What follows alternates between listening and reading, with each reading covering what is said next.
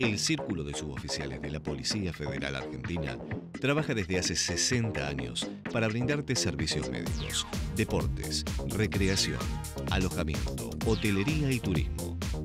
Asociate y comenzá a disfrutar todos los beneficios. Facebook barra CSPFA. Círculo de Suboficiales de la Policía Federal Argentina.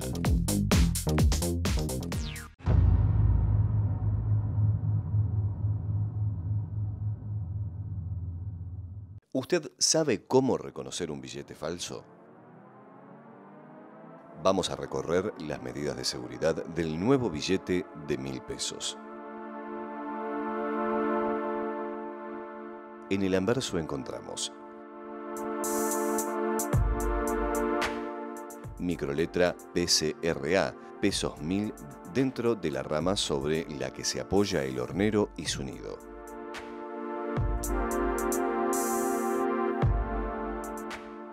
Marca de agua, reproduce la imagen del hornero y presenta la denominación.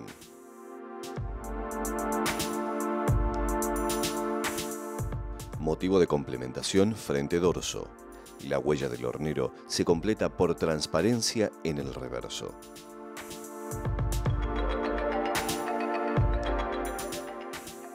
Hilos de seguridad se perciben segmentados en la sigla BCRA con efecto dinámico y al trasluz se distingue el valor pesos 1000, también visibles bajo la luz ultravioleta.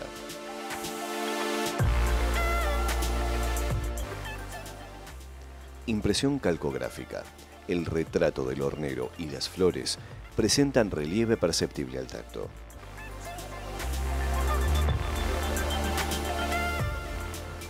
Identificación para personas con capacidad visual reducida, valor en número romano y código con relieve perceptible al tacto.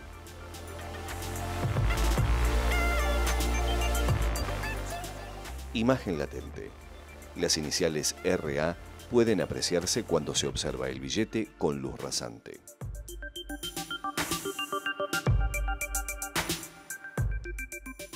Tinta de variabilidad óptica tinta que cambia del color azul al verde y presenta efecto dinámico al mover el billete.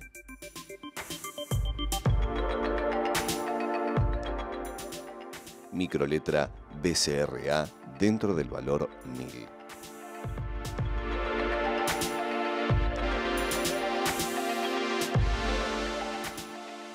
En el reverso se presenta el motivo principal, recreación artística de la llanura pampeana. Numeración vertical en color rojo, con luminosidad roja a la luz ultravioleta.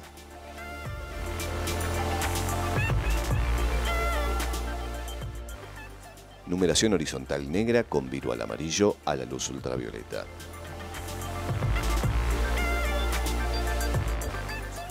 Si se expone a la luz ultravioleta, contiene fibras de seguridad de luminiscencia tricolor, turquesa, azul, rojo, hilo de seguridad que vira al amarillo e impresiones con fluorescencia que cambian del color violeta al amarillo.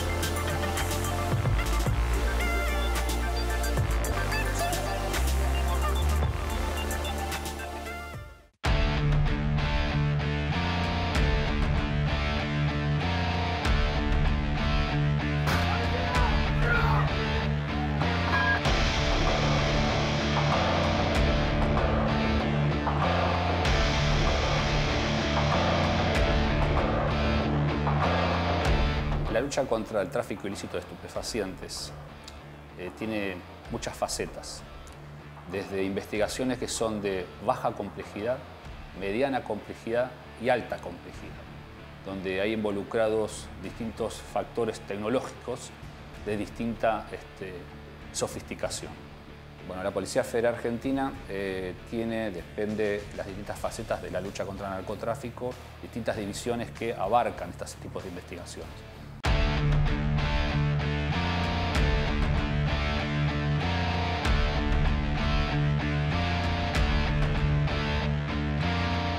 Es importante ir contra el narcomenudeo porque eh, afecta en general a la sociedad donde se instalan esos lugares de venta, ya sea por la propia venta de drogas, ¿sí?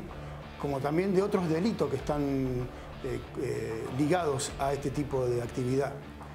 podemos citar robos, amenazas, usurpación de domicilio, porque muchas veces esta gente que utiliza un lugar de venta, digamos en un barrio carenciado, un barrio de emergencia, generalmente sacan a los propios eh, dueños de las viviendas, ¿sí? bajo la cobertura de, su agresividad, ¿sí? para, lugar, para utilizar el lugar para la venta de estupefacientes. Y eso conlleva que el barrio en general sienta temor hacia estas personas porque generalmente son muy violentos. Y muchas veces, bajo amenazas o pago de dinero, tienen comprada gente del lugar para que les avisen cuando ingresa alguien que no es de la zona. Muchas veces utilizan a menores de edad, primero por el tema de la edad, ¿sí? Este, por la imputabilidad de los chicos, y segundo porque son eh, la gente más vulnerable dentro del barrio. Este, y los utilizan generalmente como se lo denomina o se lo conoce en el ambiente como soldaditos.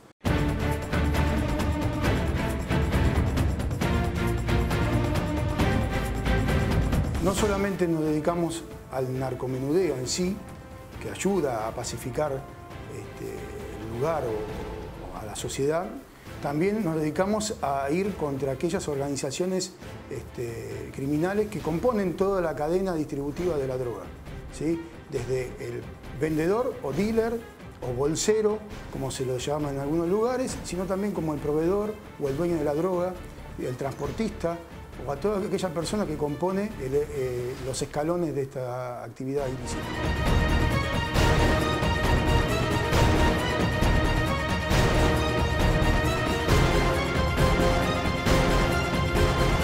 A medida que vamos avanzando en una investigación, eh, se va poniendo más compleja, ¿sí? porque podemos decir que un punto de venta es fácil de detectar por el movimiento de las personas pero ya cuando vamos escalonando, vamos subiendo en los eslabones de estas organizaciones, eh, el modo de determinar las actividades generalmente no se ven.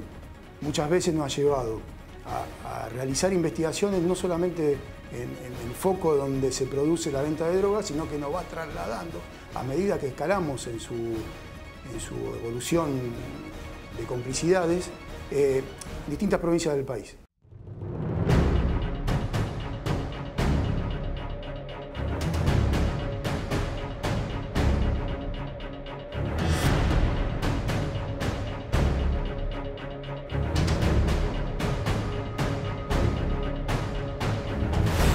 Una investigación criminal ¿sí?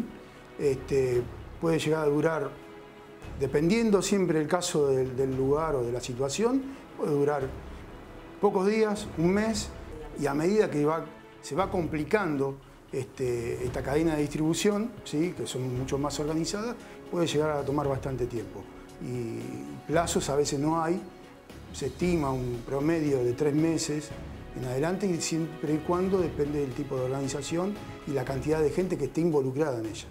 Eh, dado que se tiene que obtener las pruebas para poder desarticularlo, o sea, para darle los elementos probatorios al juez para poder llegar, a allanar y detener a los culpables.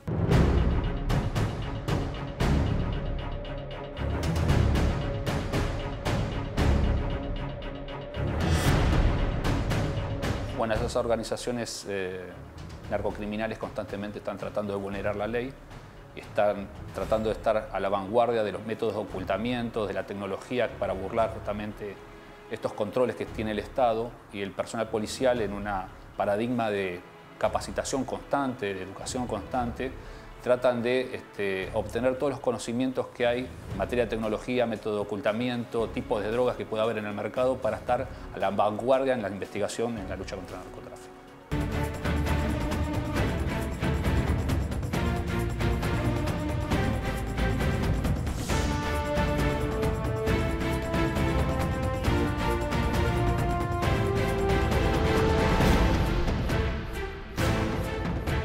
La vida cotidiana del, personal, del investigador, eh, muchas veces sabe que sale de la casa y no sabe a qué hora va a volver. eh, eso es una realidad. ¿sí? Por eso tenemos la dedicación exclusiva con respecto a, esta función. Eh, el esfuerzo que pone la gente de la superintendencia de drogas peligrosas eh, ha demostrado que ha puesto un desempeño impresionante, este, una capacidad para poder lograr, este, una voluntad, perdón, y una voluntad para poder trabajar en este tipo de, flagelo. Y el personal policial eh, acá en esta superintendencia dedica mucho tiempo y esfuerzo para poder realizar las tareas que, la justicia nos ordena.